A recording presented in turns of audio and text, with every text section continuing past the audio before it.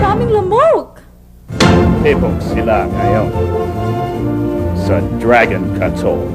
Musok, lamok, siguradong tipong.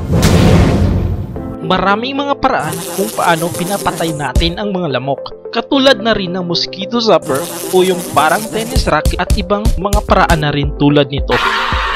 Pero ano nga ba itong sa Brazil, Singapore at ibang bansa na rin na imbis na pinapatay ang lamok, mas pinaparami pa nila ito?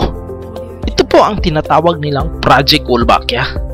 Ito po ay isang paraan na kung saan ang mga lalaking lamok na Aedes aegypti o sa tawag na Asian tiger mosquito ay tinuturukan nila ng negative bacteria na tinatawag na Wolbachia. Maraming taon ang ginugol at pagsusuri ng mga siyentipiko hanggang sa ito'y naging matagumpay. Ano nga ba itong Wolbachia? Ito po ay isang natural negative bacteria na matatagpuan sa 60% ng mga uri ng insekto katulad ng paru-paro, langaw ng prutas at tutubi o maging sa ibang klase ng lamok. Kapag ang lalaking lamok na may turok ng Wolbachia at ang babaeng lamok ay wala, ang kanyang mga itlog ay di mapipisa.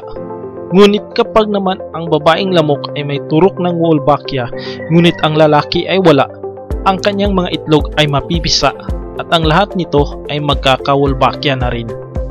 At kapag ang lalaki at babaeng lamok ay may Wolbachia, ang kanilang mga itlog ay mapipisa at lahat nito ay may Wolbachia hanggang sa ito'y dadami at sa darating na henerasyon na rin. Ang galing di ba? It's trivia time!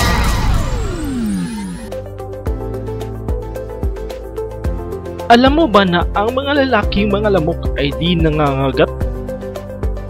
Sila'y nabubuhay lamang sa pamamagitan ng pagsipsip sa nektar ng mga bulaklak.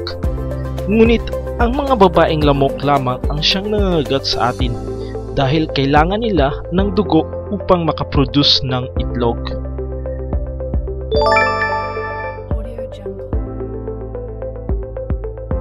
At the beginning, everyone here in the community was worried. They thought that freeing mosquitoes here was a bad thing. But now we understand that these mosquitoes are good for us. And the evidence suggests that the science really is working. In the space of just six months in this community, the population of the dengue carrying mosquito has dropped by almost 90%.